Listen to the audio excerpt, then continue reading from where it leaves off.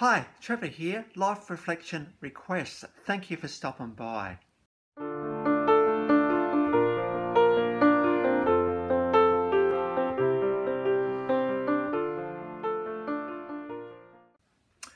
Well, I know I said from the Eric Carmen video that we were going to be going on to Eric Clapton today, but um, I got this very kind request in the comments uh, recently, and it basically said, I can't wait for you to get to Kay because I'm hanging out to see, a couple of videos on Kate Bush. And so I thought, well, yeah, why not? Let's break into the series and do a couple on Kate Bush. Of course, there's a couple of awesome songs of hers.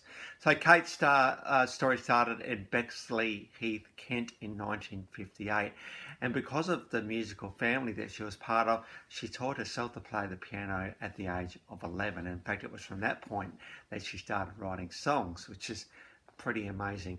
And given this song we're going to talk about today, it was was released at the age of 19. There we go, because we're talking about an absolute classic today. Now, Kate Bush is, you know, I think there's no one like her really in lots of ways. Um, I would put her in, as I've talked about before, distinctive. Now, when I talk about distinctive, I'm talking about no one coming even close to her, really. She's very, very unique, this lass. Why is she unique? Because she's been defined as being eclectic very exper experimental and almost surreal in her in her in the way she is now surreal is kind of like oh i can't quite believe it but it's kind of there and it's pretty amazing and pretty compelling uh, this is what makes Kate Bush such the influence that she has been, and we'll get onto her influence a little bit more on the next video. She has a as a, a dramatic soprano voice.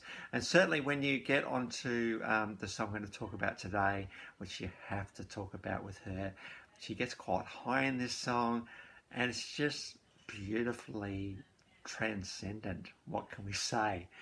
Now, one interesting thing about Kate Bush, because she's quite expressive and she does like to move her hands around and when she performs, she was the first one to use a headset with a mic as part of it um, in music. So, you know, there has been no shortage of people who have used that since then, including the public speakers that seem to do the public speaking. And so she was the first to do that because she needed to keep her hands free. Now, between 1978 and 1993, there were seven studio albums, and there was a bit of a break from 2005 to 2011 at three. So, you know, that's 10 studio albums, pretty good. There's been a compilation album in there, six video albums, 39 music videos, four EPs. What is it about EPs? Everyone seems to bring out EPs. 33 singles plus some collaborations and, and a few other bits and pieces. Uh, Kate has had uh, 25 top 40 singles and she was the first female artist in the UK to have an immediate album that went straight to number one. So very significant in the scheme of things. We'll get a little bit more into her significance next time. Now, when you think about Kate Bush, and this is a song that was very much requested because, you know, when you, you've got to request this song with Kate Bush. This came out in nine, on the 20th of January 1978. It was her debut single of her first album, The Kick Inside. And she was 19 years old when she wrote this song.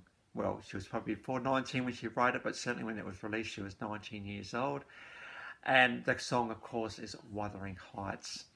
Now, Wuthering Heights is based on Emily Bronte's book uh, from 1847, um, Wuthering Heights.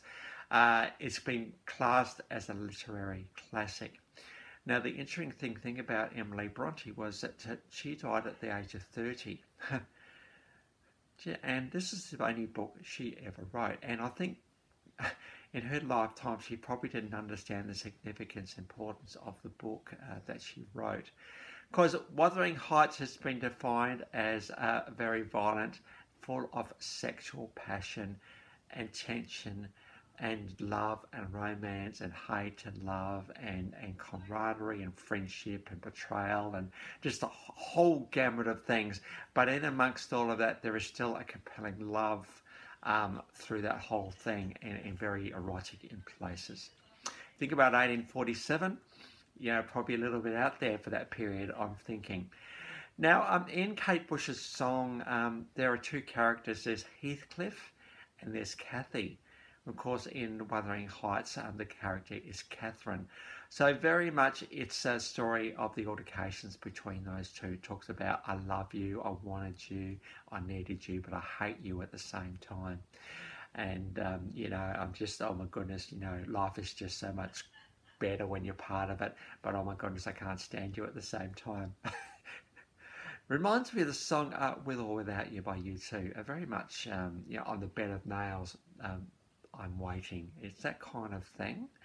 Um, and um, so, very much, yeah. There, uh, and one of the things about Kate Bush is that she tries to embody the characters that she reads into her song. So instead of just sort of reading the story and going, yeah, whatever, she actually tries to become one of the characters and immerse herself in the story. And and I think uh, one of the takeaways from um, from Kate Bush today, as we look at Wuthering Heights and just the classic song that it is, is um, that when that first of all we all have a story and, and that we are making our story as we go, and so we are immersing ourselves in our own stories, and hopefully some people around us are also immersing themselves um, as we do life together. But we can. But how do we sort of discover, you know, how our story unfolds? Well, our story, it often we often find out because of um, other people's stories and us in, resonating with them, and then we think, well, that's pretty inspirational. Um, I think I might try that myself. But of course, we put our own spin on it. We don't kind of just do exactly the same thing. We put our own spin on it. And you know, just think about music. As I said, you know, um, Wuthering Heights, the song was inspired by the book many bands have been, been inspired by people such as the Beatles and Led Zeppelin and a few others like that.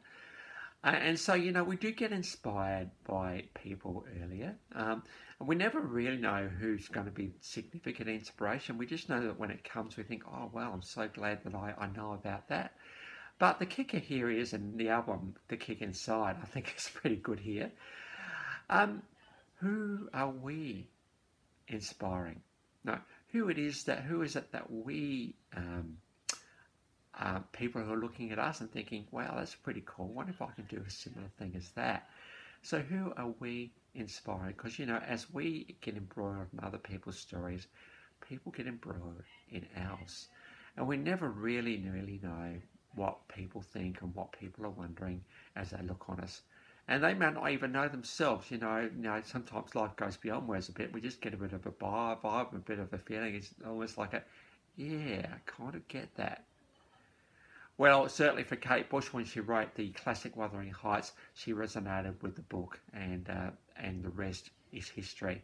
In fact, in a lot of ways, um, when you, I can think I can remember a little while ago when I did Alan Parsons' project so long ago now that I did the video La Sagrada Familia. Now, of course, that song, which is an epic song, by the way, it's based on the cathedral in Barcelona. If you want to get pretty pretty amazed by building, just look it up, La Sagrada Familia.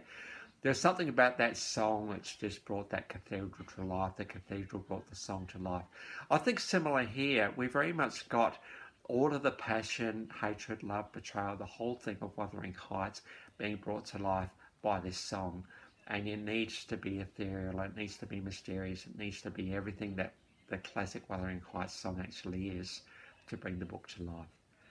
So, Kate Bush, if you're actually watching this uh, video, 1978, what, what an amazing gift you brought to this world with this song. And thank you for the way that you have uh, brought your music to this world. So, um, so if you um, so if you're just thinking about your own story, may you consider how you are being an inspiration to somebody else. So trust that will be an encouragement for you today. Well, thank you for the guy who very kindly gave this uh, gave this request today. Um, it's very nice to get such comments such as that one, and no, you didn't have to wait till K. Thank you that you got that as well. We're going to slip it in there early for you, all right? No problems at all, and at my absolute pleasure. So um, we are going to continue on with the second video that was requested um, next time on Kate Bush. Might as well give her a little bit of a mini series. And yes, this is K, even though it's currently in E. So um, Eric Clapton's just going to have to wait for another video or two. Um, he can come. He'll come when when it's ready. Uh, but thank you for your indulgence with me as I slip requests in from time to time.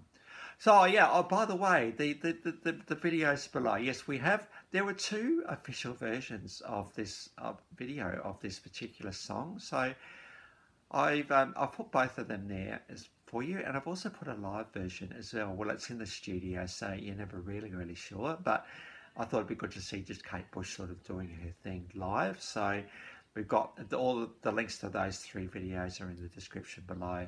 And when I do requests, I don't tend to sneak in the, the, the last video. That will happen when the series continues. And so you know, if you want to recap on Eric Carmen, we'll look at him from the last time.